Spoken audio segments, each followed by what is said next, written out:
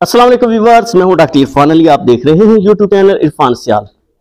आज का हमारा लेक्चर है सरसों का तेल जानवरों को देने के हवाले से। फ़ायदा। नंबर एक, जिल्द की अफादियत।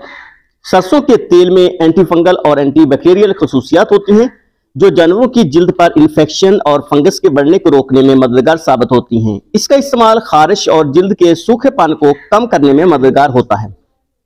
नंबर दो, मसाज और जिस्म के दर्द का इलाज। जानवरों के जिस्म पर सरसों के तेल का मसाज करने से उनके दर्द और थकान को कम किया जा सकता है। यह तेल वर्म की जलन को भी कम करता है और खचाव और मोच में राहत देता है। नंबर तीन, हाथियों की नफसियाती बहाली। सरसों के तेल का मसाज हाथियों को सुकून और आराम दे सकता है, जो इनके स्ट्रेस और एंजाइटी को कम करने में मददगार होता है। नुकसान नंबर एक जहरीला असर, अगर सरसों के तेल को ज़्यादा मकदार में दिया जाए या इसे खिलाया जाए तो ये जहरीला असर डाल सकता है। ये मैदे के मसाइल जैसे कि दर्द, दस्त और कह का सबब बन सकता है। इसमें एरोसिक एसिड, जो जानवर के लिए नुकसानदेह हो सकता है, अगर ज़्यादा मकदार में दिया जाए।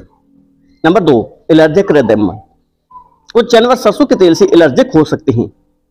अगर जल्द पर इस्तेमाल करने से लाल सूजन या खारिश का मसला हो तो फ़ौरन इस्तेमाल बंद कर देना चाहिए।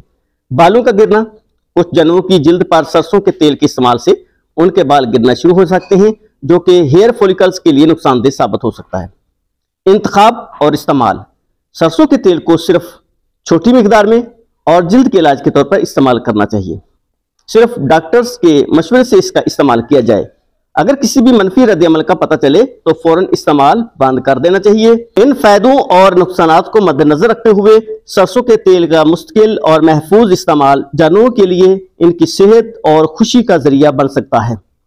जी दोस्तों, ये थी वीडियो कि सरसों का तेल किस तरह इस्तेमाल करना है। अगर ये वीडियो अच्छी लगी तो इसको ज़रूर शेयर कर दें, ताकि दूसरे लोग भी इससे इस्तेफादा हासिल कर सकें। Thank you for watching this video